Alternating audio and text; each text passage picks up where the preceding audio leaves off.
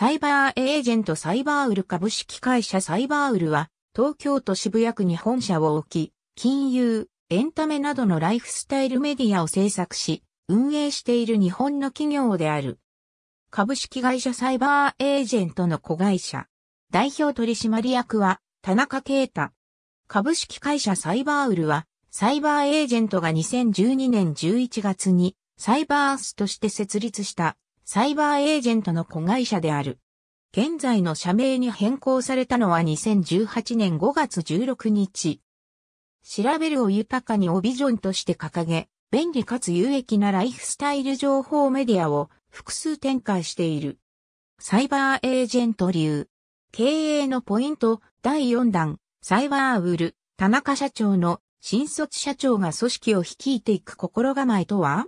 経営をアップグレードしよう。中小、ベンチャー企業の生産性を10倍上げる、ウェブマガジン。2020年1月24日閲覧。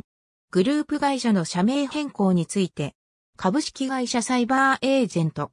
2020年1月24日閲覧。遠隔公式サイト閲覧。お年玉をあげなかった理由経済的に余裕がないからヤフーニュース。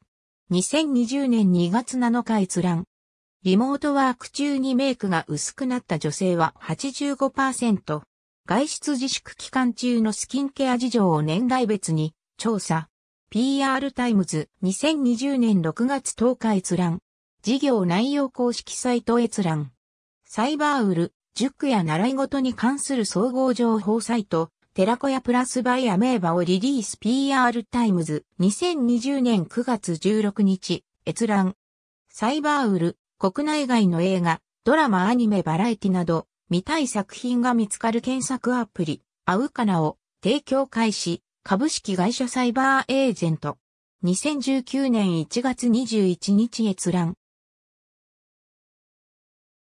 仮面ライダーの大ファン棚橋博士、好きすぎて家でこっそり、インフォシークニュース。2020年1月15日閲覧。ありがとうございます。